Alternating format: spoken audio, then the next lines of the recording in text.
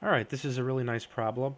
Uh, if A is congruent to B modulo n, and B is congruent to C modulo n, then A must also be congruent to C modulo n. Let's prove this. So proof. We'll start by assuming that A is congruent to B modulo n, and B is congruent to C modulo n.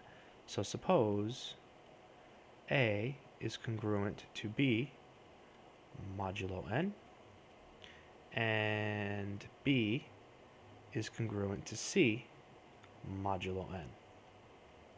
This means a couple things. Uh, this means that a minus b is a multiple of n. It means that b minus a is a multiple of n.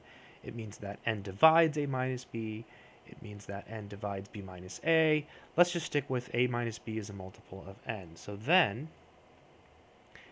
a minus b is a multiple of n. So we can write it as k times n and likewise, b minus c is a multiple of n, so we can write it as r times n, where k and r are integers. So now we have to prove that a is congruent to c modulo n.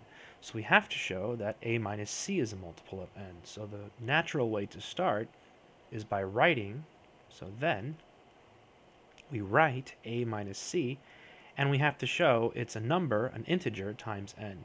Well, here we have a, and here we have b, and here we have c, and here we have b.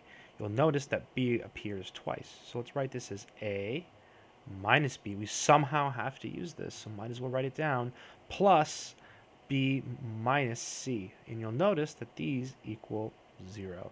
And that's the beautiful thing, because this is equal to kn plus this which is equal to Rn. And then we'll factor out the n.